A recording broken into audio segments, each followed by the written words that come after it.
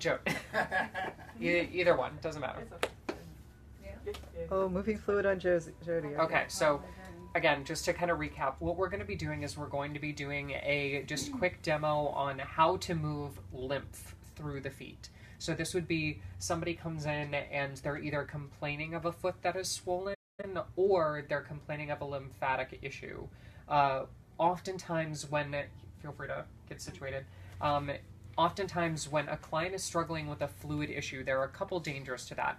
One, cardiovascular, which is the theme of our weekends. Like if somebody has a physical backup of fluid, that's a red flag for a lot of deeper cardiovascular stress. So referring them to a physician might be in the cards. Yeah, we need to keep that in mind as far as like just red flag nests. Because cardiovascular and lymph go hand in hand. They are two fluid systems that play off each other a lot. So, if the vascular nature of the capillaries and the veins are not creating that fluid return, that could be part of the equation as well. But like we talked about uh, just recently, you know, the idea that powerful stressors can trigger massive swelling. So how would we address that in a client on the table? First thing that we're going to do is we're going to uh, get the solar plexus and adrenal, our first two points under control. We had talked about the adrenal gland as representing the stress hormone, cortisol, that ability for the body to process stress effectively, but then also the adrenal glands as a powerful reflex for sex salts and sugars, those three S's that will help to regulate fluid as well, and then solar plexus for overall pain and discomfort. What we're going to do after that is we're going to work three very specific areas of the feet. We're going to work the dorsal surface because that's going to be our lymphatic portals. We're going to walk the ball of the foot, which is also lymph, but more center of the chest. And then we're going to do that deep ankle portion of the routine. Make sense? Okay. So that should constitute a really quick half hour. Feel free to gather and all that stuff. Okay. So we're going to start with our solar plexus. And again, we're right at that diaphragm guideline. If you wanted to look at the, the chart on the wall real quick, we have the diaphragm guideline in between that green and yellow section. So in between horizontal zone 2 and horizontal zone 3, that diaphragm guideline in line with the third toe, that ditch, that, that space, we're just going to hold that point for about 30 seconds, which is very much like how again, acupuncturists would take pulses. This is kind of like how we would take a pulse, except we're not feeling for an actual pulse, we're feeling the tissue texture. Mm-hmm. Okay. After our solar plexus, then we're going to go to our adrenal. Here's a fun hack that I discovered while I was teaching this this month. So normally we would find the adrenal gland in between the first and second toe, halfway between the diaphragm guideline and the waistline guideline. There's that nice little ditch. Or, this is new content, uh, you could palpate for the proximal head of the first metatarsal and slide right into it. Oh Magic, right? Do that again. So, proximal head of first metatarsal, slide right into the adrenal. Yeah, so much less complicated, but you are required to learn both versions, not just the quickie cheat version. Um, so just something something fun, something new, because practice is always changing and evolving. Okay, um, because lymph is also moved by heat, it may be appropriate for you to do two rounds of hot towels. Yeah. Um, so if you wanted to pass me a dry towel from that end and two wet towels from that end, we'll actually do that real quick. Excellent. So we have our, and for those our new students, we're going to drape over the top of the foot, two inch flap for the toes, wrap under, tuck under, wrap over. Fleece immediately comes over top in order to seal in that heat, and then press. a lot of clients will ask me for conditions, especially with pain, should I use heat or ice? Um, unless you want to numb an area and stop inflammation, you should never use ice. Um, I am of the school of thought that's a little bit more energetic. Even if heat is present in an area, um, you want to calm, you want to relax, you want to open, and you do that with heat unless there is like a like somebody sprains an ankle, not strains, like sprains, like damaged ligament territory. There's pain because of fluid pressure, like that would be a case for ice. But most of the time, heat. Even when you know certain inflammatory conditions, like if a client comes in and they're like, "I run hot," like that's okay. You're still getting hot towels because it's amazing, uh, and it's definitely part of that that relaxation process. Okay. So we're going to then dry off the foot. Same wrap around the foot for the hot towel. Just a little bit of shimmy dryness. Now, in the cardiovascular, you were talking about the leukemia in the blood. Right. And lymphatic. I know cardiovascular and lymphatic go together. Yeah. so we- explain more on the cancer, lymphatic, leukemia. blood. so cancer, lymphatic, leukemia, all of that territory, be, the physical cells Mhm. are earth. They're, they would be the, the element of earth in that, and they would be related to the blood because that is technically part of the blood. Mhm. The lymph is the fluid transport, so it's kind of like it's kind of like the the cells are the subway car, but the lymph is the actual subway, Mhm. the the tunnel. Yeah, Mhm. that the the subway cars have to go through. So Mhm. when we think of the the difference between you know the actual blood production aspect of leukemia, Mhm. that would be cardiovascular. When we think about the actual like lodging of the cells and the overgrowth and the channel that the cells are coagulating in, that would be lymph. But it's not like in the case of leukemia that all the white blood cells are immediately going to the lymphatic system. They're Mhm. found everywhere. It's just that's where they measure. Okay. You know. Okay.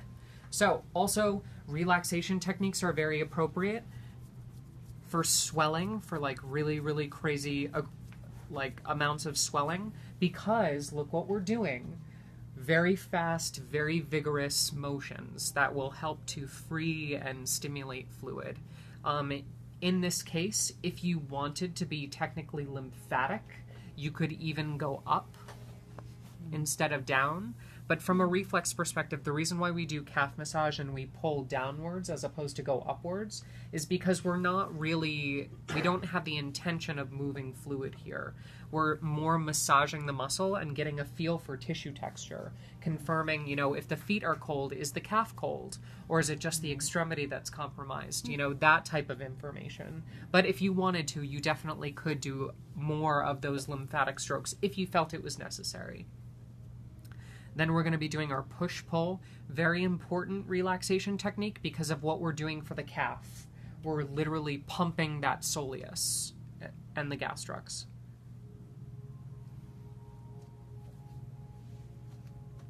Okay. Then we do our heel rotation. Heel rotation important because the heel represents all of those lower body reflexes, so stimulating and flushing the nerve that would be controlling kind of that fluid balance. When we think of the nerves which root into muscles, the muscles themselves act as secondary hearts to the lymphatic system. So if the sciatic nerve is compromised and it's freezing up the muscles, that could be part of the lymphatic situation as well. I'm having numbness in the ankle more medial. Okay. So when you do that, Mhm. but I, I barely, barely could get out of my vehicle today because of my sciatic on this side. Yeah, so that's that's totally part of it. Um, so what I would do first is if you wanted to start with the actual direct pump of the dorsal ankle, that would be a nice way to start. So we're going to push the foot back slightly to open up those channels and then use our fingers to squeeze and pump that fluid down. And that's a very direct lymphatic technique because we are choosing to push fluid. Three, and we would do that in three vertical sections, three times each, for a total of nine passes. And although Jody has a lot of fluid in her body, her feet aren't like technically swollen, so it's not as. But like when you have a foot this big, you'll see it. You'll see the fluid. Then we want to do our metatarsal shake to open up the bones and to open up the lymphatic system. It used to be pretty swollen. hmm And then we'll actually walk down each of those dorsal valleys. So we're going to take a fist, push the foot back again to open. Notice how we're pumping. Everything everything in this set is pumping in that way. Then fingers come over top, and we're going to get into those dorsal valleys just once. If you feel like a particular dorsal valley is super congested, you could always go more than once. It's up to you.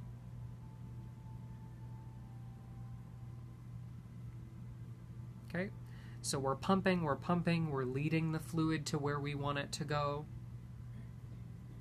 And then, because of that, after we're done with the dorsal valleys and we give another metatarsal shake, I'm going straight to the ankle. Because after we push the fluid to where we want it to go, we want to make sure that the deeper structures of the foot are open to channel that fluid back up. So, we're going to do a little bit of Achilles tendon effleurage.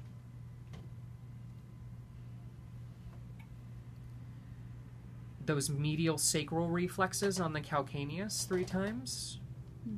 representing that tailbone area. Hmm. Switch hands. Lateral calcaneus, representing all the glute muscles. And then, if you wanted to get a close up of the, the ankle rotation, we're going behind the lateral malleolus, starting at the top of that crescent, using our outside hand to create that pump again, that rotation my index finger is just tracing around, finding points along that hip joint reflex in order to deactivate it.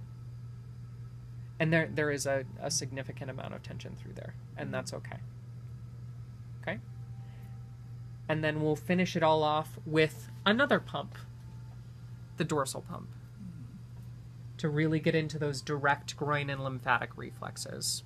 And that would be like if you just wanted to leave it there, you totally could and just repeat that same series pump, pump, pump, wiggle, down, down, down, wiggle, inside, outside of calcaneus, rotate, pump. Like that, if you wanted to do that like as a series of three, that would be like just keep pumping, keep moving. You totally could.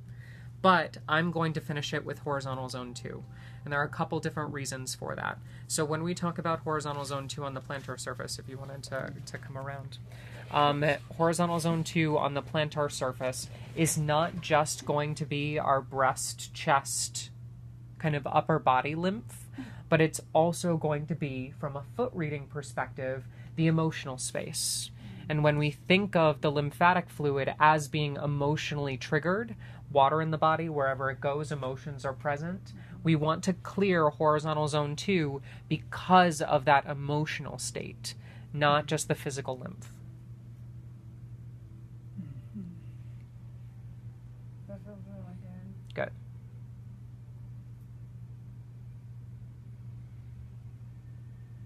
So you could pull this into a one hour session by Mhm. just repeating Yeah. for someone that's really massive. If you wanted to, um, if you wanted to do this set, Mm. like start with this set and then maybe go back and walk the digestive reflexes, maybe get into the cuboid notch, spine, toes, and then do the set again. Just kind of butchering up the routine and copy pasting where needed. Like that could be that could be a thing. Okay. Then we finish with the relaxation techniques.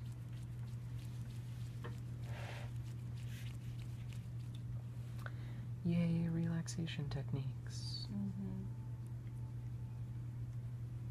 I try to incorporate those in every massage. hmm And again, if you felt the need to physically pump the fluid upward instead of downward, you totally could. As a general rule with lymphatic work, you could pull the fascia, but don't go deep because lymph doesn't travel deeply. Um, you want to just very surface on the skin move the fluid. It feels amazing.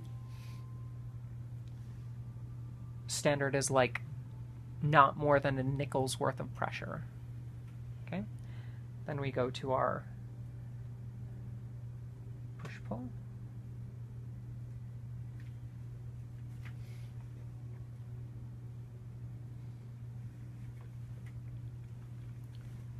Any specific questions or other things you guys had curiosity about as we move to the other foot and do that same routine? So lymphatic and swelling, sometimes people present with red, which is more of a fire sign. Yeah. Um, so are there any other elements or techniques that you would incorporate besides the pumping and moving the lymph? If there's a lot of fire, that's another element on top of Right. swelling. this is something that you see a lot. In fact, um, Cody, who works here at the institute, um, he actually had this in a couple different clients this week, which was fascinating. He's like, Sam, I don't understand. There's there's so much water in the foot, but there's also so much heat. Um, and it's because the body is trying to evaporate the fluid. It's very much like the body produces a fever when there's stagnation in the lymph in order to heat it up and get things moving, but then it produces coldness when there's too much inflammation and the body is going into kind of a freak out response, which is why people often go from hot to cold just to balance out that, that heat as well as the kind of uh, chill that happens accordingly. So it might be really neat to kind of like watch that bruise right there I've been getting a bruise on that side of my ankle for a couple months now. and see how that changes throughout the session. Um, with with stagnant heat, um, I wouldn't necessarily change the routine at all, um, unless like you wanted to go back and you notice the heat is coming from somewhere specific. Um, you would need to you would need to kind of put more pieces of the story together from that standpoint and see like, is it water that's fighting fire? Or is it fire or that's fighting water? Like which one was there Starting first? Yeah. yeah. And is the heat actually medicinal being produced by the body? And is that something we need to add to uh, which you could do by you know adding more vigorousness to the technique? Also you know spicy foods uh, herbs that are heating like the gingers the chai uh, anything like that. But then you know if it's a if it's a water that's fighting fire you know the fluid is in response to the deep heat that's happening. It would be the reverse. So you would want to cool them down. You would want to basically help the fluid. And the reason why i'm doing this first is because there's just this i saw it on the other foot there's this space on the spine that's like right in line with the bruise that i just Is can't it not touch sacrum?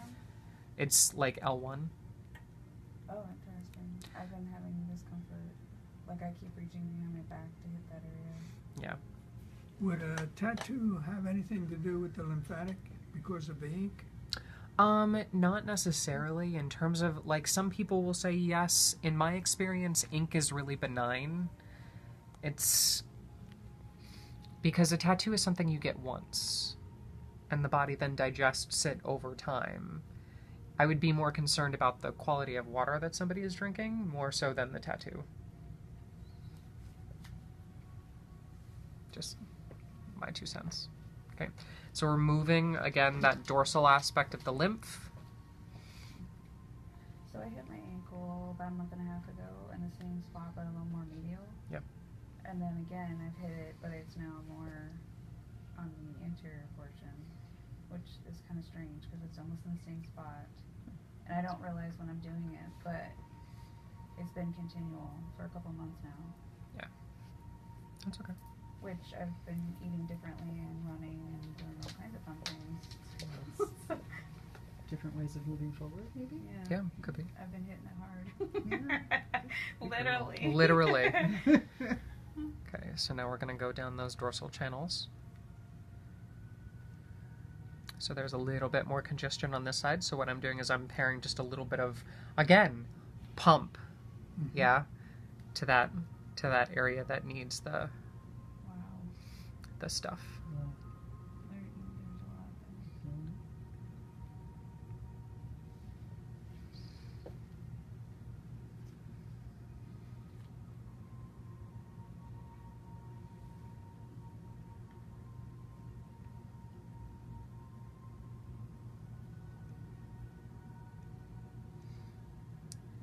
And there's a little bit of binding here. So what I'm going to do is I'm going to use some traction. I'm going to take my hand over the top and actually pull the foot slightly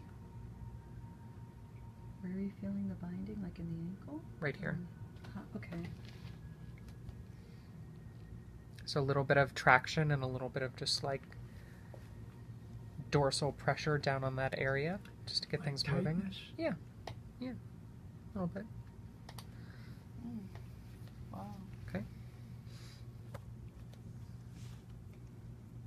I can tell a significant difference from the right to the left. Hmm Yeah, the the left is crazy.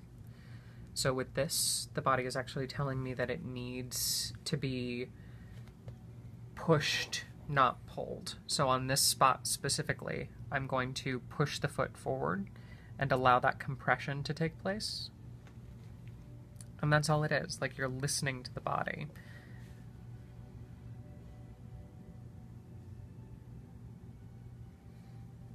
Okay, and we got it. Was that a twitch in the leg? What was yes, that? I've yeah. been having twitches Okay. and spasms. Which is fine because it's it's when we think of fire as like that heat, that spasmodic tendency, the body's trying to get the fluid to move. So Mm. that's okay. But it's, it's like. Yeah, exactly. like, okay, that was exciting. Muscles aren't muscles aren't halfway. It's either they're on or they're off. right. Okay. I must be doing something right. There you go. So then we're gonna do our uh, our calcaneus work. So medial surface of calcaneus, once, twice, thrice. Switch hands. Lateral surface, which represents what? Oops. Reproductive area. Did Part of something weird with reproductive? My phone is telling me to rotate. I was trying to get too creative. I was trying to make. it- I was making people Could be seasick. sciatic. Sciatic. The or ovaries. Ovaries, yeah, but what alright, what else is in here in the the From- body. from a muscular standpoint? sciatic, uh, um, hip Those are flexors, glutes? Glutes. Glutes. Glutes, Oh, glutes, glutes. But isn't that closer to the malleoli area? Would be It's in between. Okay. So when you think of like if this is hip joint, if lateral malleolus is hip joint, and then the Achilles attachment is that sacral area, Uh-huh. Then it would be the bridge between the sacral area and the hip joint, which is the glutes. Okay. So it's just about quads and all of those. quads would be cuboid notch. Okay. Okay. And then the plantar surface of the cuboid notch is the calves. Calves, right. Okay. So now we're getting into that lateral malleolus space, and we're going with our outside hand to create that movement. There's a lot more tension on on this side, and she's she's giving us like a really deep, not okay moan. So we're we're gonna park it right here, uh, and we're just gonna hold that point. My middle finger is on it. Do you find that sometimes what people equate to sciatic, muscle pain, etc., is excess fluid? Yeah. That's what I'm, I'm finding this more where we just can't get an answer, and then once they're able to move the fluid, it's better. Did you just hear my low back pop? Yeah, that was your low back. Yeah. Oh, cool! Awesome. Yay! Everything is awesome. And you can see the fluid. You can see like the shiny fluid happening Yeah, I can feel it. right through there. Oh, yeah. Like you can see the sheen that's happening on the skin. That's so good. It's even happening on my hand. Yeah, so triggering just all that water movement. Then we finish with our dorsal pump and then we'll go to zone 2 to finish it off. And that will be that. We'll finish with relaxation techniques and then do another round of hot towels. And that would be the recommended lymph routine. Hmm. My apologies to the three people watching. I probably made them seasick. No, you good. They felt like you on a no, not you. I mean, on the. I'm glad you're happy. Rob. I'm glad you're happy, Rob. Okay, Because so that was my main focus. now going to zone two, clearing each of those vertical zones in line with the toe.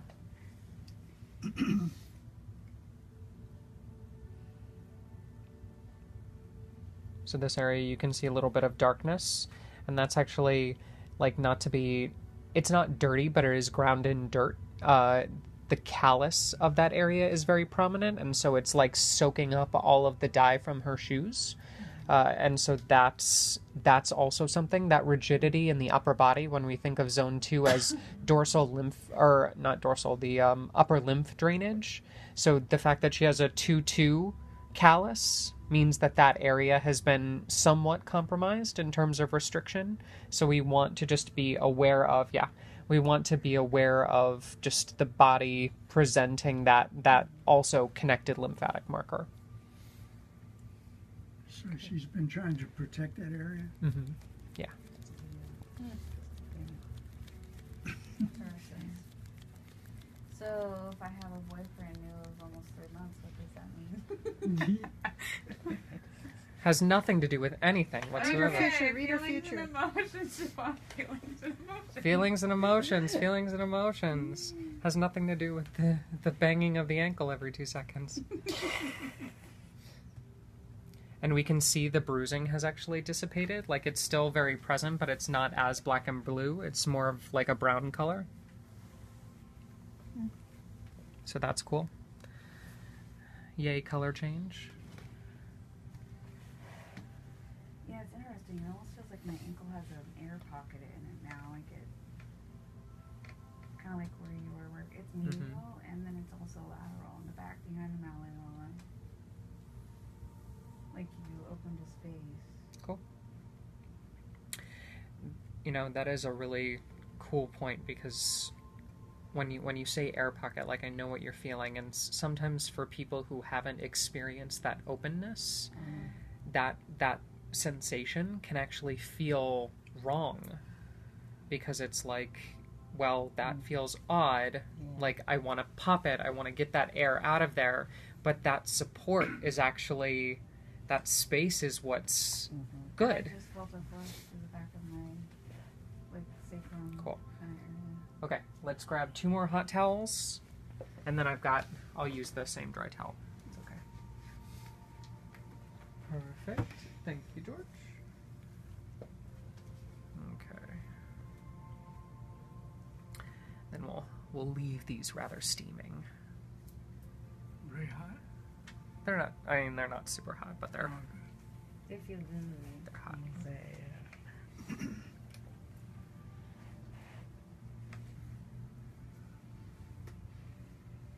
So you were talking about varicosities in the cardiovascular portion. Yeah. Um, in the deep vein, I know you're starting distal, so you're not really concerned. You said to always. Right. The, the problem with like a DVT, a clot, or a deep vein thrombosis, it's it's a problem because it's not only like directly painful, but you don't want any liability from that perspective. So if they have a clot that's being monitored, I wouldn't I I would if they're insistent on a session, I would not touch the calves and I would not do any of the relaxation techniques that would yeah, Okay. potentially move that clot. I would stick just with the feet um, and only stimulate the nerves just to be safe. Like I've so had just walk the reflexes. yeah, just walk the reflexes from that standpoint. Um, you know, it's the same thing with pregnancy. Like the the myth about reflexology inducing labor or being harmful for the pregnancy is a myth, but I still don't want to jostle the body so much because that's just uncomfortable when you have another human inside of you and you're suffering from morning sickness. Like it's it's practical stuff. So same thing with the clot. Like mm-hmm. if there's a clot that could potentially move to the brain if you press it too hard, mm-hmm. like they're walking around with that. So their body weight and their contraction is is stimulating to that area. So I'm not like worried worried about it. Mm-hmm. I'm just worried about like if the physician is scared and they find out that they have gone to a bodywork practitioner that has touched that area, that's liability. Um, and we want to eliminate that at all costs. Like I've worked on people with a history of clots, and then I find out, oh, they had a clot. You know, at the time that they were seeing me. Mm-hmm. Thanks, thanks Yeah. for not being an informed client. You mm-hmm. know, but at the same time, was I worried? No. Did did I feel like a hot red inflamed spot on the calves? No. Whatever your thumb is is interesting. Mm-hmm. Okay. And then we would end with solar plexus adrenal.